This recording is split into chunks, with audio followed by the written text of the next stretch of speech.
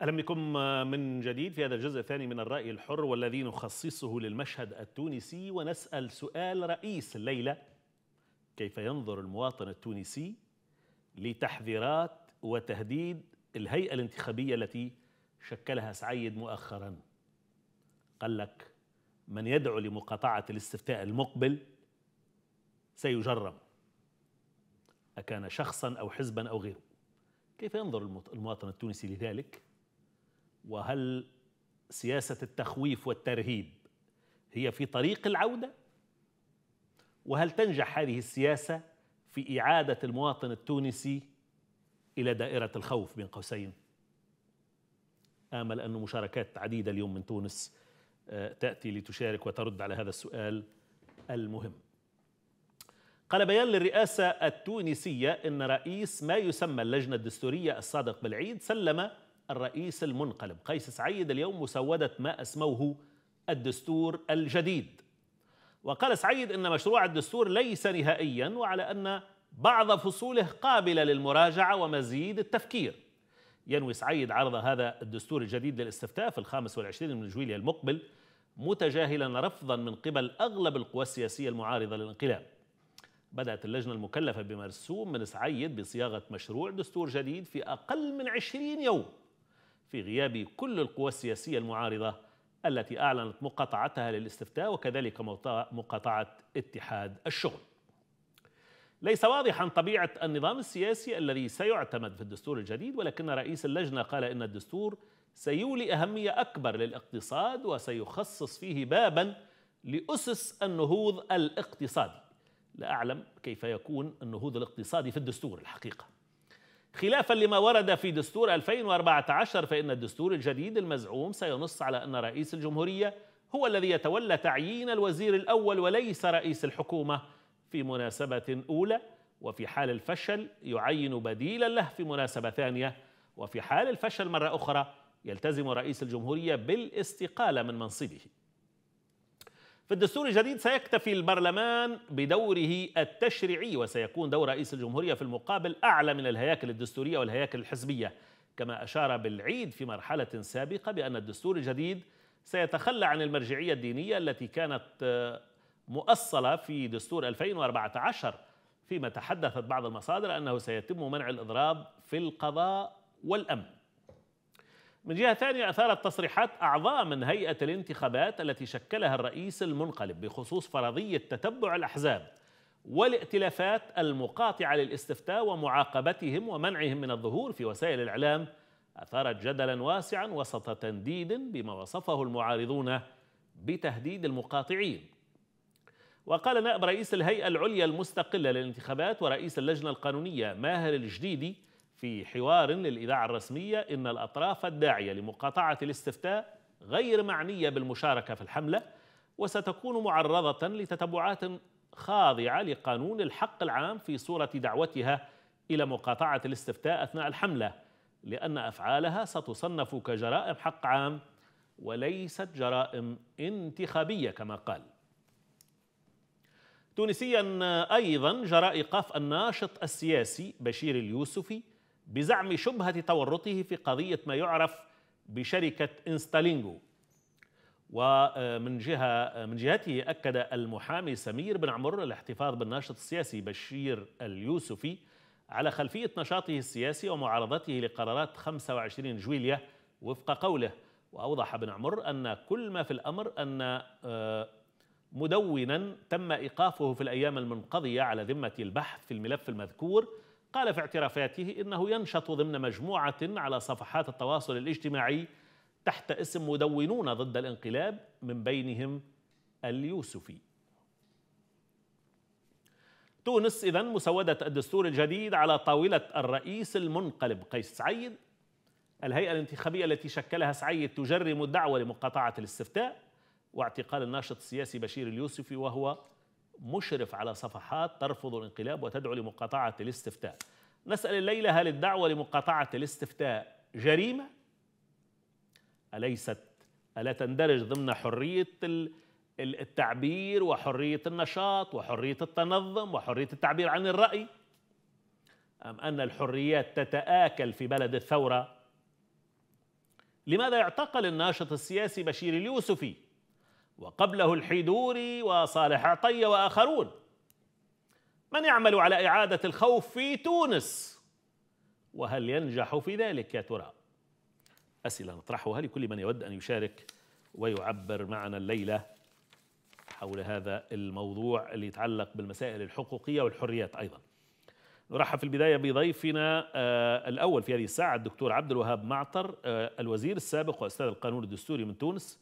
دكتور معطر آه مساء الخير. نبدأ بهذا الدستور الجديد أو مسودة الدستور الجديد التي استلمها الرئيس المنقلب اليوم من آه الصادق بالعيد.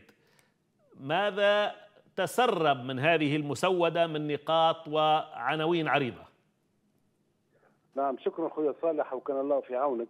آه وثانيا يعني آه قبل أن نتعرض أنا أنا شخصيا أحنا ضد ضد العملية هذه كلها لأنها هي نتاج عملية انقلابية معروفة وهي عبارة عن حلقات حلقات متتالية لسلسلة معروفة وبالتالي محتوى الدستور كما هو لا يهمني كثيرا.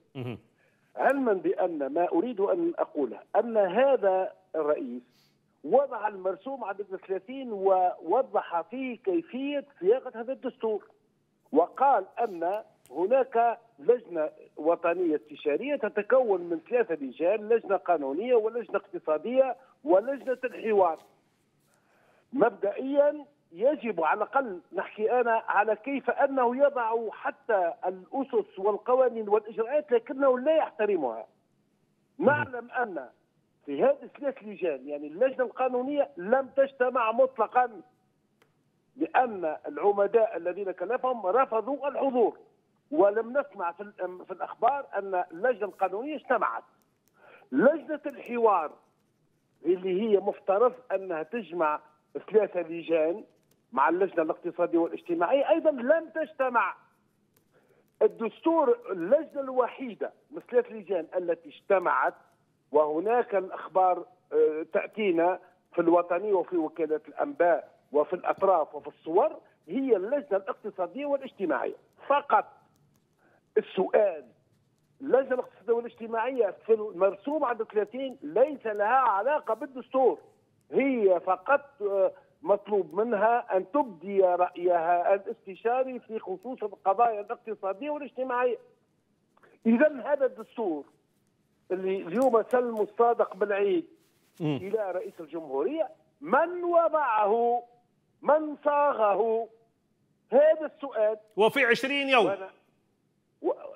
ما يهمش 20 20 يوم لكن يعني حبيت نقول هذه نقطة هامة راي جدا نعم يعني صحيح. أن حتى الإجراءات التي يضعها الانقلابي في صياغة الدستور لم يقع احترامها ونحن أمام اليوم مقترح دستور لا نعرف أي لجنة صاغته وأي أشخاص عندنا فقط واحد هو صادق بالعيد إذا أنا أقول هو الدستور الصادق بالعيد فقط.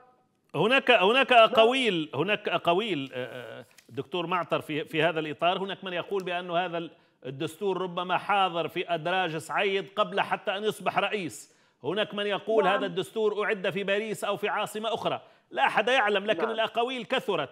لأن الحقيقة لا نعم. الوقت يسمح بإعداد دستور حقيقي ولا اللجان اجتمعت كما أشرت حضرتك اذا اللغز اللغز كبير ويستعصي على الفهم الحقيقة نعم وأنا وأنا أقول أن إذا كان نقول من الناحية الشكلية من الناحية الشكلية يعني ما يسمى معناتها التلقي المتلقي يقول أن فقط هو صدق بريد الذي وضع هذا الدستور لكن ما خفي يمكن هو أعظم أن حتى صدق بالعيد لم يكن إلا بيدق.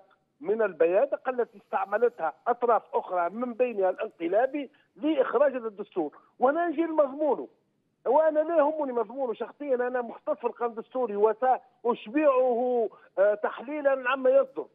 لكن ما يتسرب عنه ما يتسرب عنه لأنني أدعو إلى مقاطعة هذا الدستور أصلا. ولا ادخل في المضامين. لكن إذا كان تطرقنا إلى المضامين فقط لأن الناس المترديه والناس والمواطنين الذين لا يعرفون الأبعاد نريد أن نفسر لهم هذا الدستور. لحد الآن هناك مسألة أساسية هو أن دين الدولة الإسلام وقع إلغاؤه.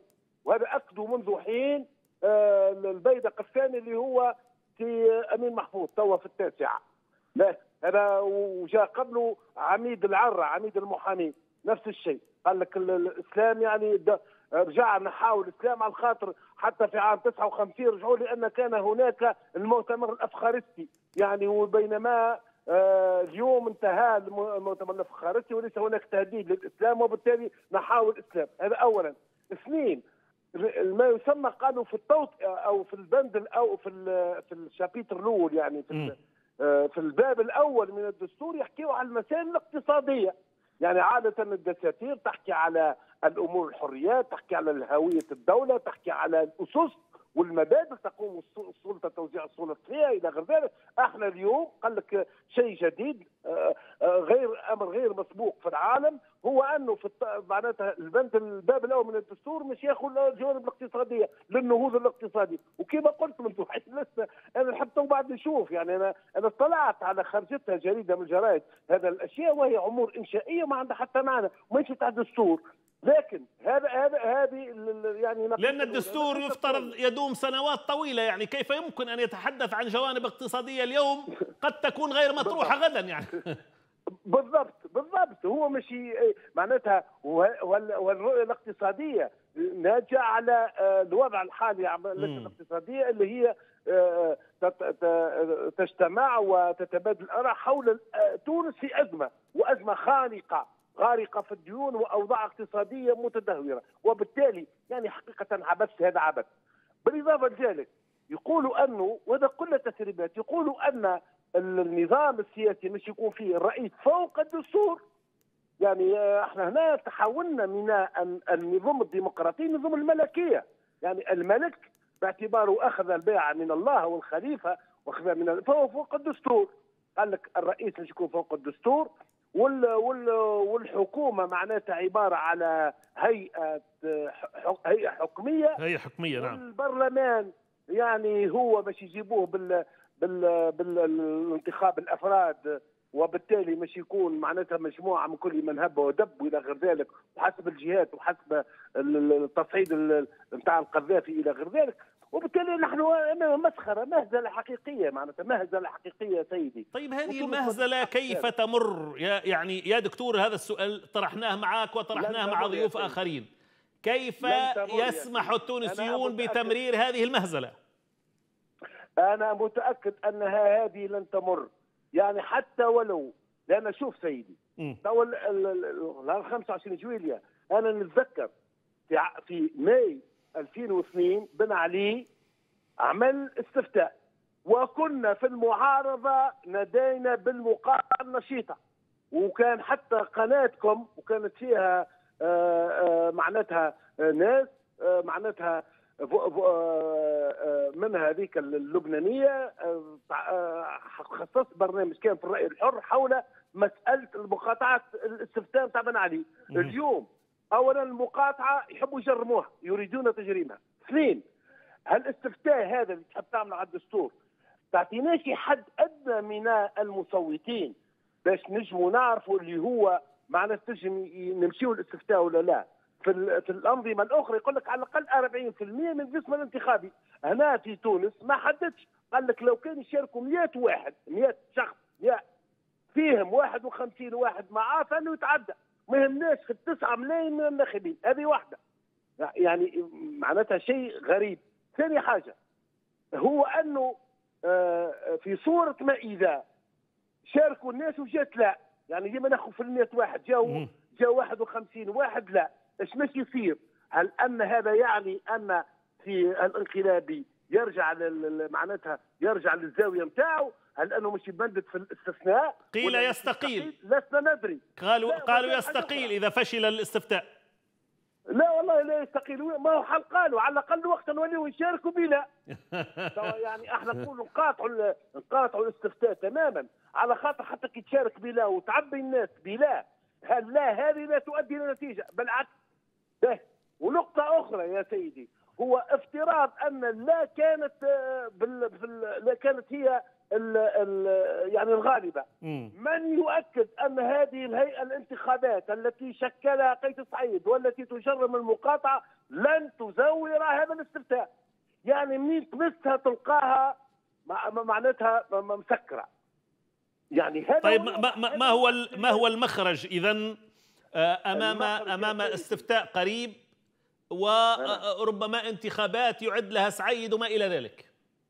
شوف يا سيدي أنا أنا متأكد أنا متفائل متفائل بالشعب التونسي وبنخبه وباحزابه إحنا عمرنا أنا توا وصلت لهذا العمر وعارفت من وقت بورقيبة وأنت ماشي عمري ما ريت المعارضة التونسية والنخبة التونسية والأطياف الاجتماعية المختلفة متحدة ضد السلطة.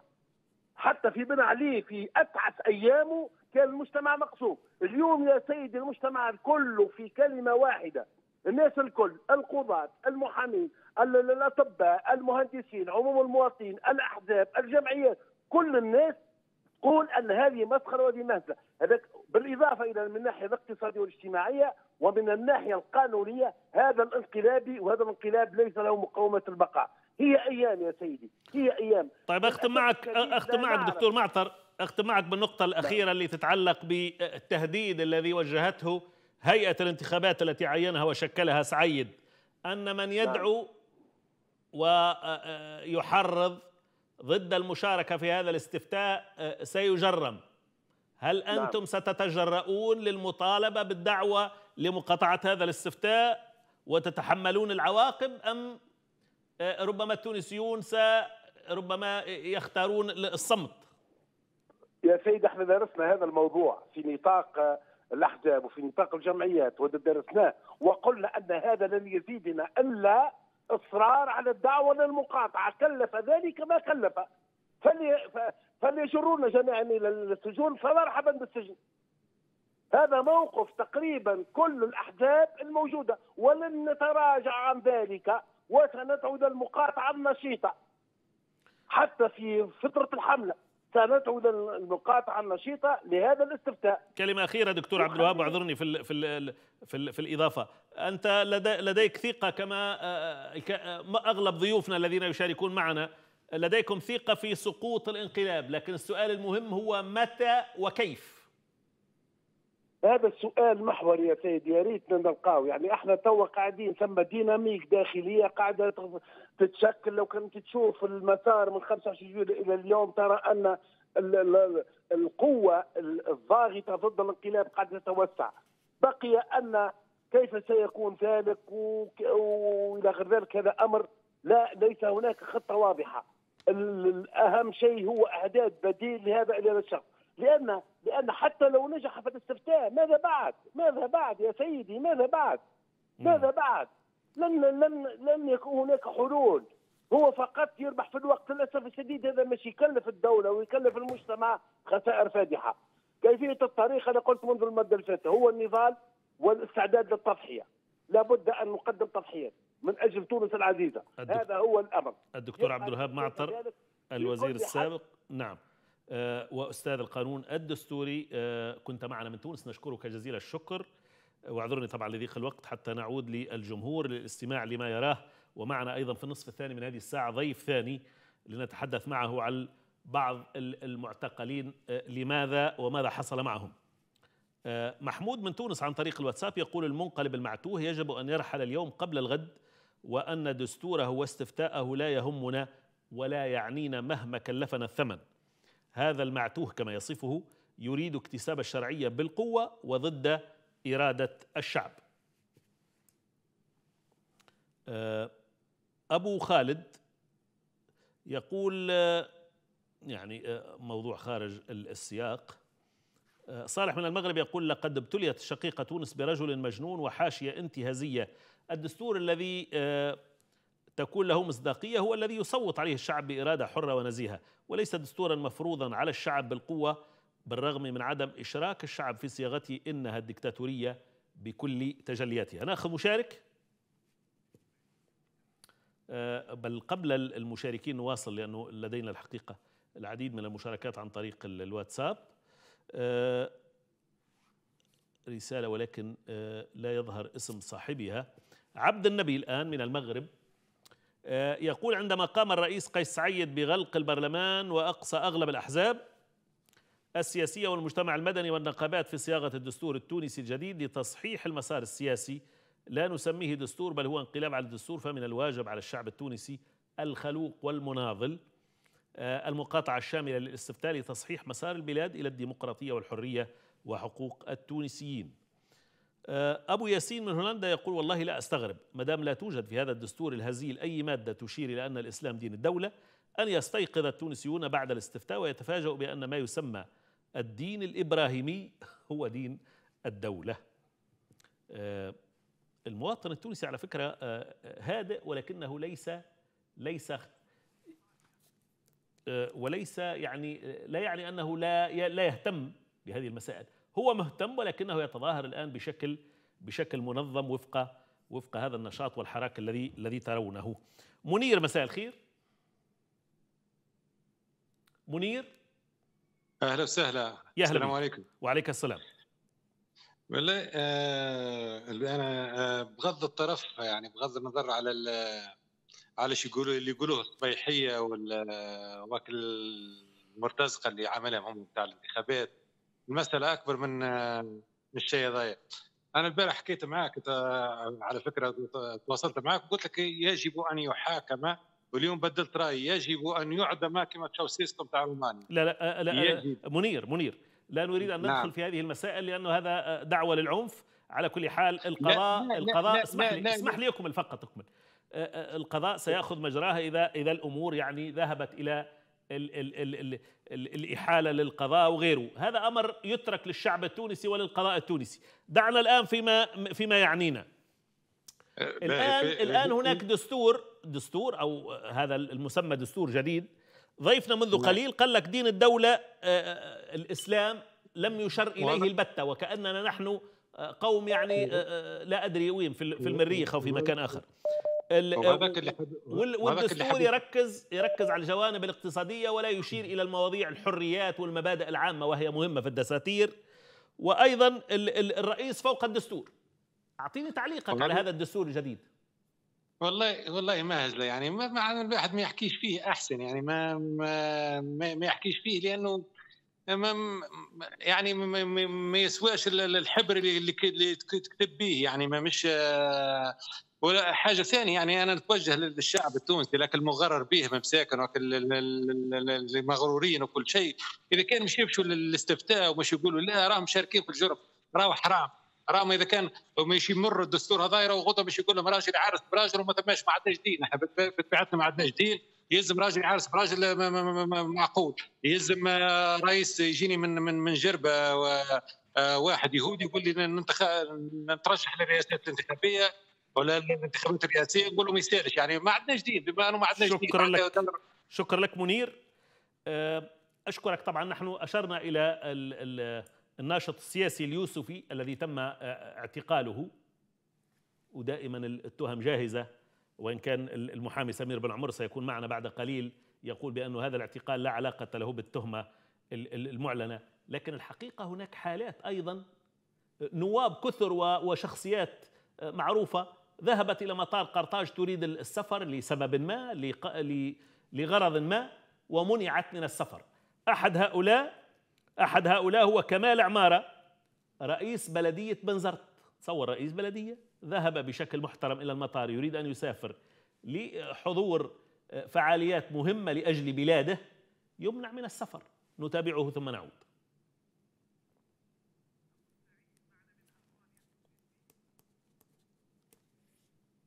زملائي الكرام.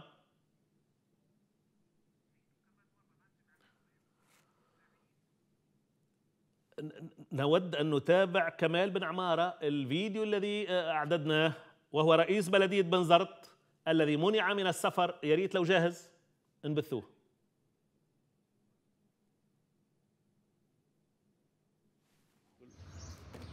اليوم لحد 19 جوان. من أمام آه، مطار تونس آه، قرطاج. آه، للأسف لأول مرة في حياتي كلها كنت معناتها تمنع باش نسافر. أنا كنت باش نشارك في مؤتمر عالمي حول المدن باش نمثل فيه الجامعة الوطنية للمدن التونسية. قعدت قديك قعدوا يسالوا مع داخليه وما إلى ذلك. في الآخر قالوا لي راهو القيادة ما ما اعطتنيش الإذن باش انك باش أنك تسافر وبالتالي يجب باش ترجع. أنا ساعة قبل كل شيء نحب نحيي معناتها الأعوان اللي موجودين في المطار خاطر ce sont des معناتها أعوان vraiment travaillent qui ont travaillé معناتها très professionnellement اللي عطاه شو اسمه معناتها التعليمات هذه باش نتمنع من السفر فهمت إن شاء الله نشوفوا إن شاء الله يرجع القانون ويرجع القضاء ونشوفوا يعني معناتها شنو الوضعية هذه القانونية نتاع إذا كان فهمت معناتها أي حد تجاوز القانون لأن هذا يعتبر فهمت معناتها مخالف لا للقانون ولا للدستور ولا لاي واحد. منعش واحد فهمت لا بيسافر على أي سبب وإذا كان معناتها إذا كان فماش سبب قضائي. وبالتالي هذا معناتها نوع من أنواع العبث بالدولة وبالافراد اللي هم موجودين في الدولة. وصلنا إلى درجة معناتها كنا إحنا نتوقعوا الحمد لله بعد ما عملنا دستور عملنا قوانين عملنا واحد. كنا نتوقعوا إن الأمور هذه معناتها ننساوها. كومبليتمون من حياتنا هاك تشوفوا فهمت معناتها الأوضاع رجعت الاسوء من واحد. لأن معناتها لا في وقت بورقيبه ولا وقت بن علي صار لي الكلام هذا. على كل حال إن شاء الله كما قلنا فهمت معناتها نرجع للدولة. لأن توا معناتها يبدو أنه ما عادش في إطار دولة. وبارك الله فيكم والسلام عليكم ورحمة الله. ولنا إن شاء الله وقفات مع الموضوع. السلام عليكم. كان هذا إذن رئيس بلدية بنزرت السيد كمال عمارة منع من السفر دون سبب وجيه وآخرون أيضا يعانون. ما الذي يجري في تونس؟ والله لا يمكن أن تصنع ثورة ثم تنتهي في هذه الأوحال. وهذه المشاكل السياسية والاقتصادية التي إلها أول وما إلها آخر. والله كم كانت تونس جنة قبل الانقلاب، قال لك العشرية السوداء. والله ليس هناك أسود من قلوب هؤلاء الذين يتحدثون عن عشرية سوداء. أقولها وبكل صراحة. كانت عشرية واعدة، كان فيها حريات وكان فيها إنجازات ومنافق وكاذب من يقول ليس هناك إنجازات حتى الإرباك اللي كان في البرلمان كان إرباك ضمن المربع الديمقراطي رغم أن عبير موسي بالغت وكانت تستحق العقاب وقالها كثيرون ولكن دائما ضمن المربع المحتمل. لكن الذين يتربصون بالديمقراطية وبالدولة ويريدون الانقضاض على الحكم يحولون لك الأشياء إلى نقيضها حتى يبرروا إجرامهم. الذي يجري في تونس الآن هو جريمة حقيقية. جريمة في حق السياسة وجريمة في حق الاقتصاد وجريمة في حق الحريات وجريمة في حق هذه الكفاءات. مسافر حتى يحضر لي ليتحدث عن بلده فيمنع من السفر. اللي يحصل في تونس هذا والله العظيم لا لا يقبله عقل ولا منطق. أبو سعيد من ألمانيا. السلام عليكم ورحمة الله وعليك السلام. تحية لك وللمشاهدين أجمعين. أخي أنا أستغرب يعني من أنه مجرم منقلب يجرم يجرم من يدعو مثلا لمقاطعة استفتاء. هذا من أعجب العجائب ومن أغرب الغرائب. الانقلاب هو الجريمة الأولى. الانقلاب هو الجريمة الأولى. وبالتالي وبالتالي معناته على التونسيين أن يقفوا جميعا ضد هذا الانقلاب. أنا لا أسمع في اخ صالح لا أدري معنى لا لا أنا سامعك تفضل. نعم. فبالتالي اذا الجريمة هي الانقلاب وكل عمل معناتها يقع مراكمته ضد هذا الانقلاب هو عمل مشروع. وبالتالي على التونسيين أن يهبوا جميعا وأن يقاطعوا، أنا سمعت أحد المعارضين يقول نحن نعارض وسنذهب ونصوت بلا، لا هذا خطأ نعتبره، على التونسيين أن يكونوا صفا واحدا ويقاطعوا هذا الاستفتاء، هذا المجرم روي عنه أنه في 2017 قال أن الاستفتاءات في الانظمه الدكتاتورية هي هي يعني تزييف للديمو وديمو تزييف للوعي وهكذا. وهذه من الأشياء. كان ضد هو نفسه هذا المجرم المنقلب. يقول أن معناتها الاستفتاءات هي أداة ديكتاتوريه للتزيين وهكذا. فكان عنده تصريح ضد الاستفتاءات في الأنظمة الدكتاتورية. فكيف الآن يأتي ويموه علينا ويقول هذا؟ يعني ويقول أن معناتها دستورنا القديم لا يصلح والدستور الذي صنعه الحفناوي في زاوية من الزوايا سوف يكون دستورا صالحا ويقبل به التونسيون. هيهات هيهات. لن يمر لن يمر ثم لن يمر. شكرا لك أبو سعيد من ألمانيا. يوسف الزبيدي من الأردن يقول لا تقرأ رسائلي أنا لا أجد لك رسالة إلا عتبا ولوم. ارسل رسالة مفيدة في الموضوع سنعرضها عزيزي ولسنا هنا لعرض العتب واللوم. يعني على ماذا تعتب وعلى ماذا تلوم؟ آه رسالة أيضا آه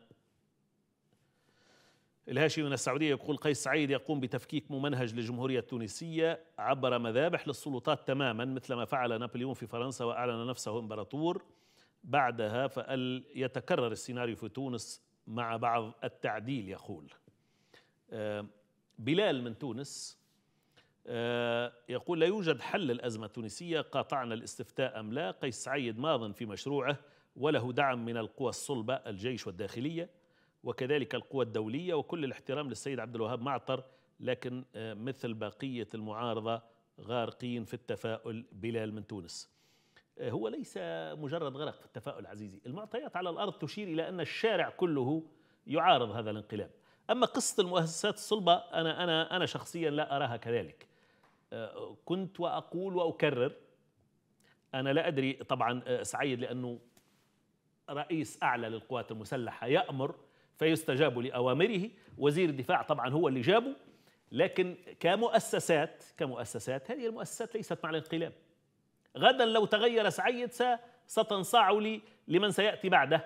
هي منظمات مهنية لم تتورط في السلطة سابقا وتتعامل الآن مع الأوامر ليس إلا.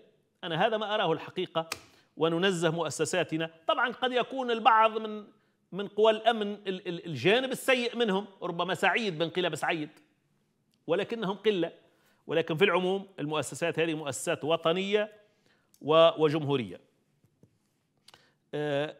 الجابسي من تونس يقول دستور بين يومين وغطستين. لا أدري ماذا يقصد بذلك.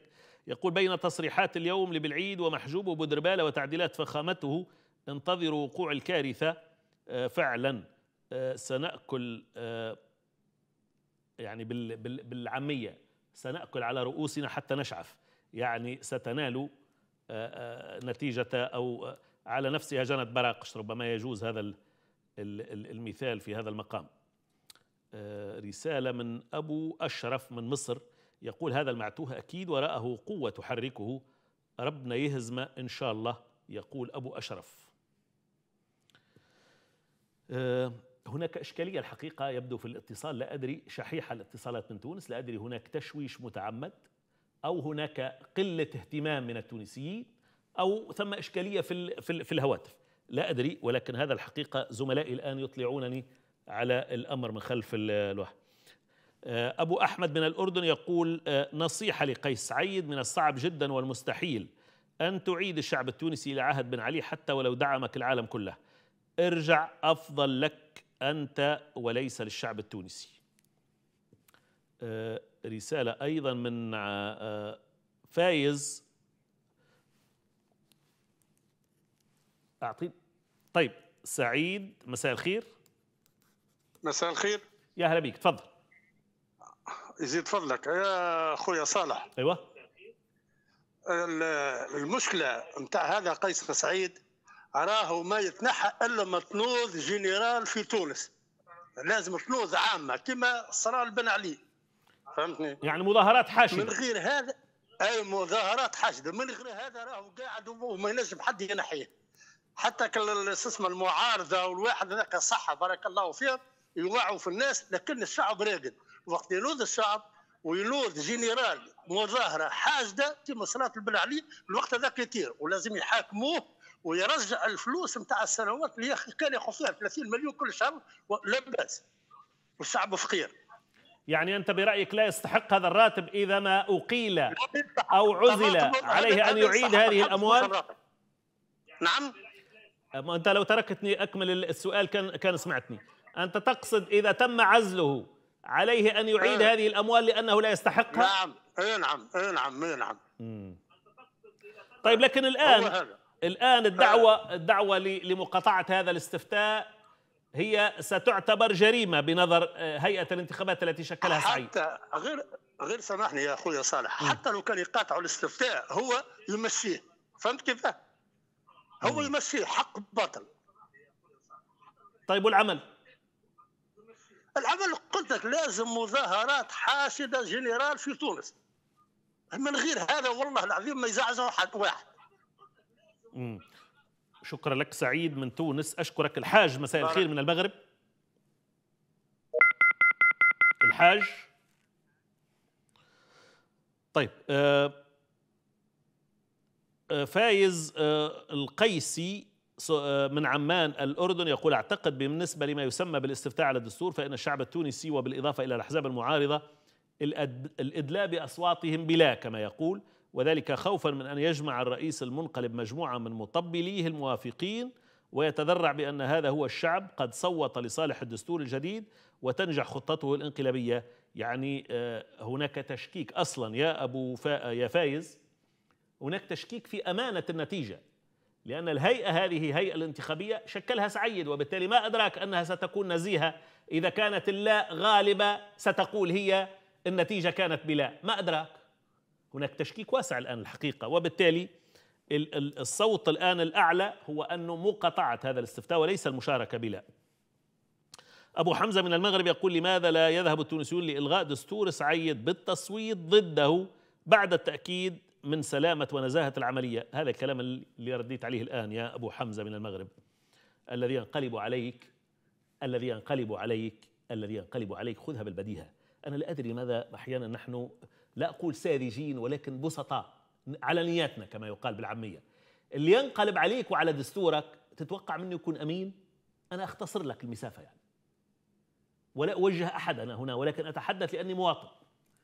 يعني ينقلب لك على مؤسساتك ويطيح لك بالبرلمان ويطيح لك بالحكومة و- و- ويحرق دستورك ويضع بعض الناشطين في السجن. والآن ناس ممنوعة من السفر. ثم تقول لي يا أخي أنت شارك بأن لك النتيجة أمينة ونزيهة. ما شاء الله عليك. يا رجل يا رجل. طيب نأخذ مشارك.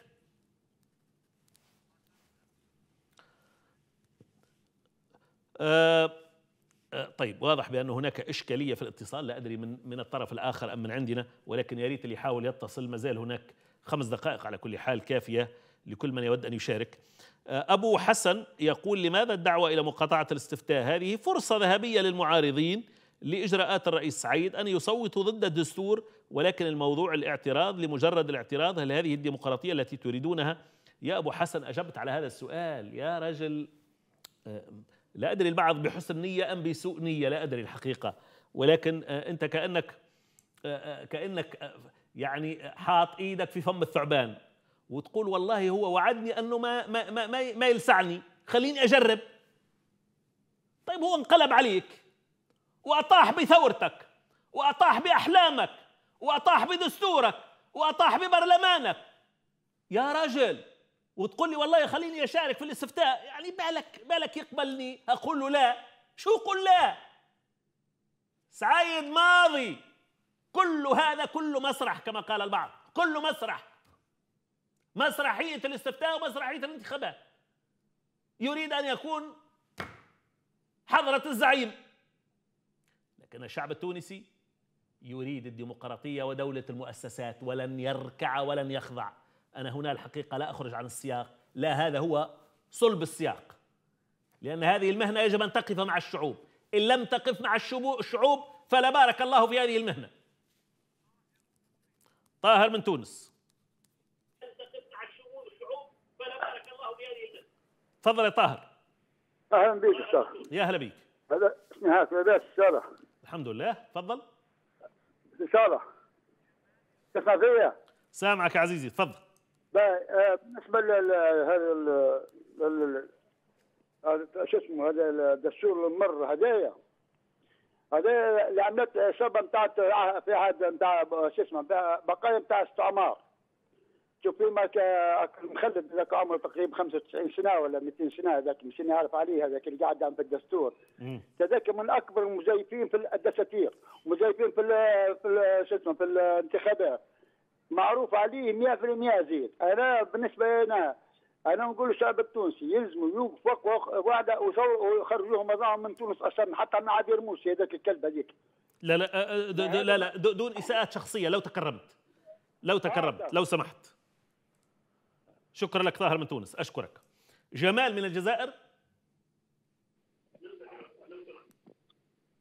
جمال. أهلا أخويا صالح. يا هلا بك تفضل. يا أخويا العزيز أنا حبيت نقول لك وحبيت نتكلم معك باللهجة الدارجه باش. يفهموني خاوتي توانسه حلو. راهو هذا الانقلاب راهو كموش مدعم من العسكر ومن الداخلية ما يقدر يعدل والو هذا السيد هذا اللي راهو جابوا لكم الروبو يسير فيكم.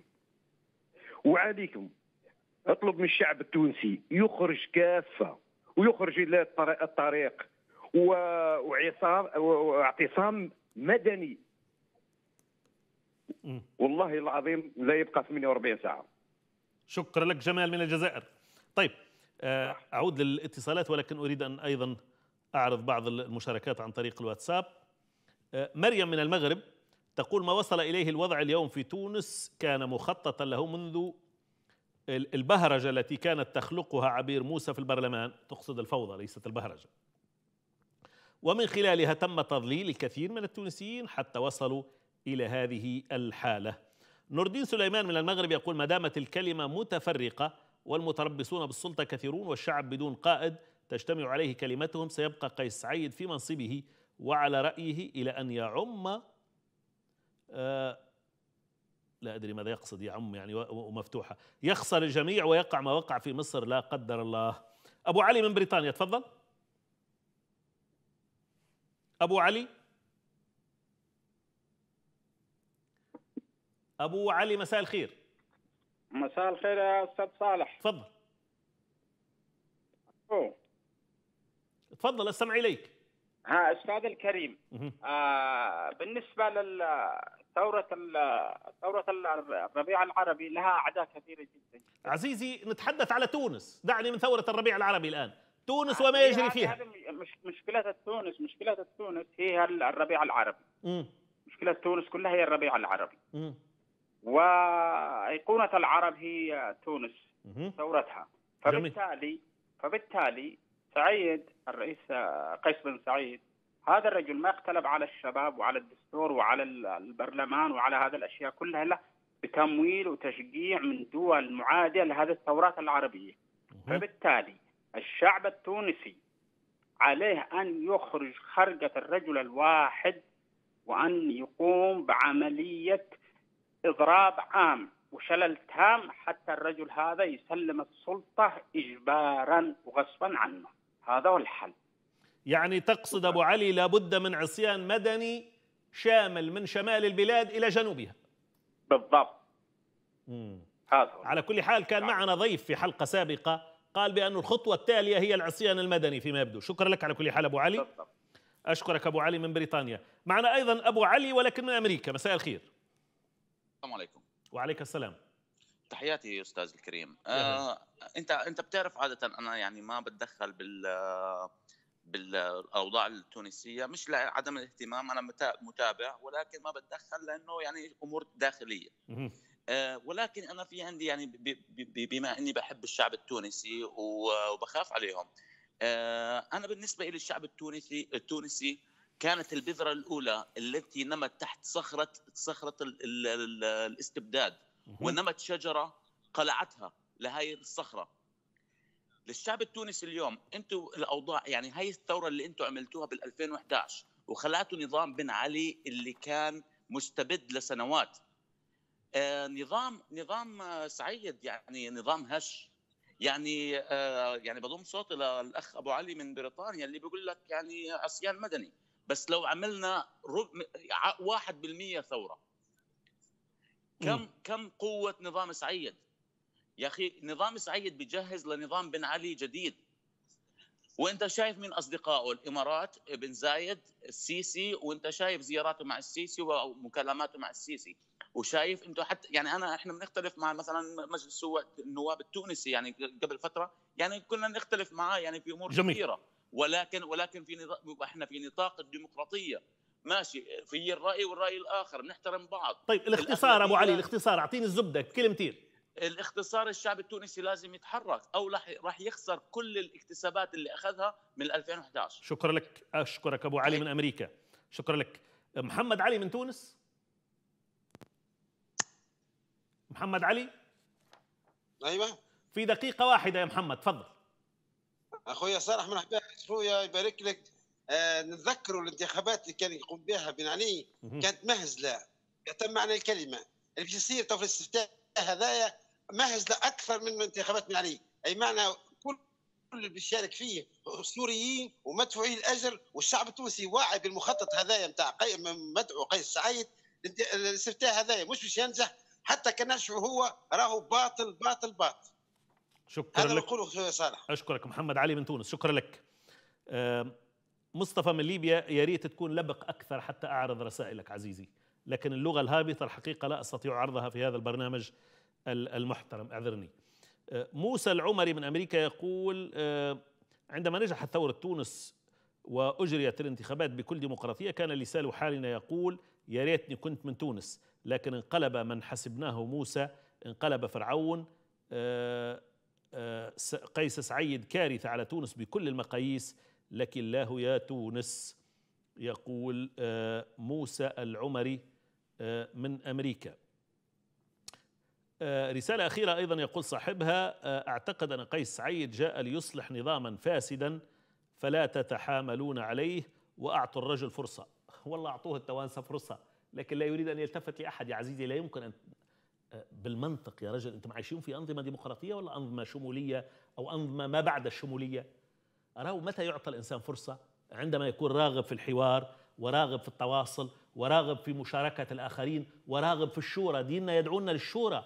هذا الرجل لا يشاور، لا يتواصل، لا يتحاور، لا ينصت لأحد، فكيف تعطيه فرصة؟ صلوا على النبي بال- بالعقول ولا بدون بدون عقول؟ طيب أدركنا الوقت على كل حال أشكر كل من تفاعل معنا كان عن طريق الهاتف أو من خلال الواتساب لكن ننتقل إلى فقرتنا الأخيرة كالعادة مراسلو الرأي الحر.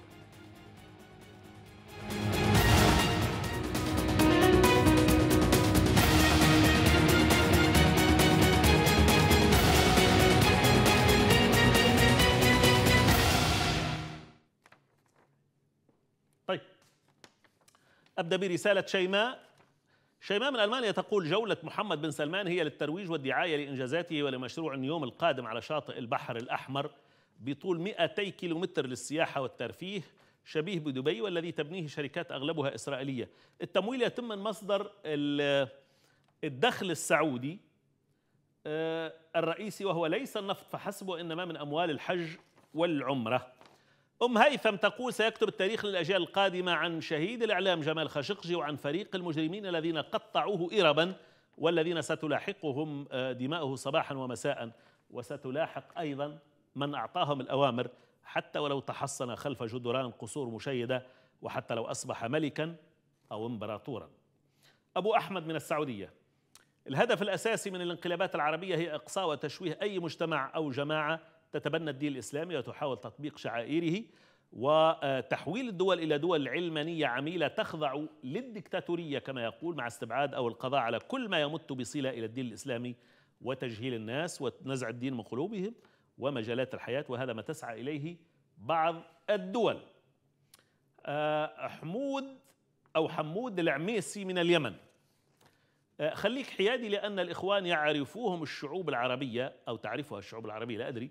إن كانوا فاسدين فلن يفيدهم المديح وإن كانوا صالحين فلن يضرهم النقد. ونحن دائما حياديين عزيزي. أنا لم لا أدافع عن الإخوان يا عزيزي أدافع على المنطق السليم. أنا أحيانا في في الحوار والنقاش. انتقد الإخوان كما تشاء.